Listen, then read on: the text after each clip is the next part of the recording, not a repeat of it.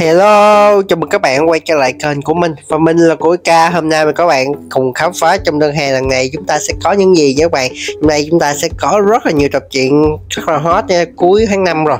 Đây là những ngày cuối tháng 5 rồi Chúng ta sẽ có rất là nhiều chuyện hot nha các bạn.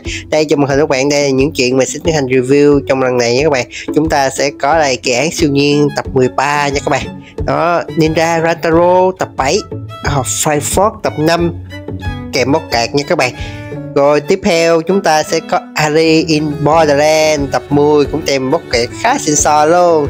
Tiếp theo chúng ta có Marshall, tập 2 cũng kèm luôn có kẹt luôn các bạn. Giáo ngoại hỉnh hơi, tập 12 không có quà nha các bạn.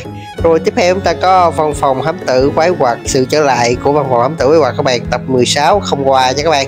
Tiếp theo chúng ta sẽ có con trai tôi hình như là gay, có quà nha các bạn.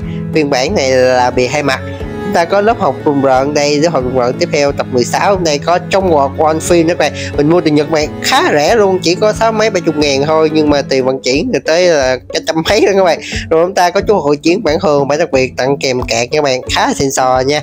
Cái uh, nhu cầu mà mua kẹt khá là lớn các bạn. Rồi chúng ta sẽ có là tập 8 Acid 86 phiên bản giới hạn nha các bạn. Mời các bạn cùng chiêm ngưỡng trước khi mình review chi tiết hơn về từng tập truyện nhé các bạn. Các bạn nhớ like, subscribe, chia sẻ và comment một con số hết phía dưới. Nếu video này sau một tuần đạt được 1.000 view, mình sẽ dành tặng cho 10 bạn mỗi bạn một cuốn bất kỳ trên màn hình nhé các bạn.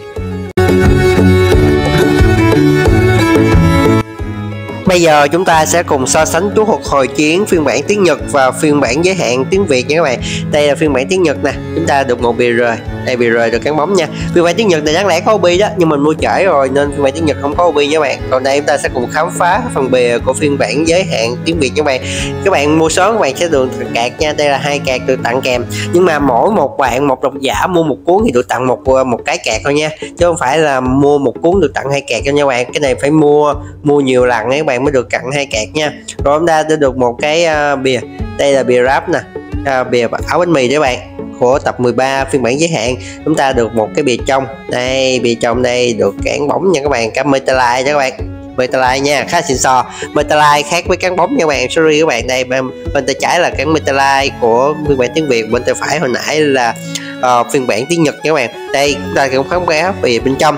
Về bên trong đối với ờ, phiên bản uh, Việt Nam giới hạn đấy chúng ta sẽ có màu nha các bạn. Đây chúng ta một gì đó bên trong bên trong ta sẽ có thêm một số trang màu nữa các bạn. À, được in trên giấy C còn phiên bản tiếng Nhật thì in trên giấy shop bình thường thôi. À, cầm và cầm thì ờ, phiên bản tiếng ờ, Việt nặng tay hơn các bạn tiếng Nhật các bạn. Về độ dày thì phiên bản tiếng Nhật vẫn dày hơn tại vì in giấy C của tiếng Việt thì nó sẽ là mỏng hơn các bạn. Rồi đây một số hình ảnh về phiên bản tiếng Việt và tiếng Nhật nha các bạn. Rồi mời các bạn cùng chiêm ngưỡng các bạn nhớ like subscribe chia sẻ và comment một số phía dưới nha. Xin chào và hẹn các bạn trong những video lần sau.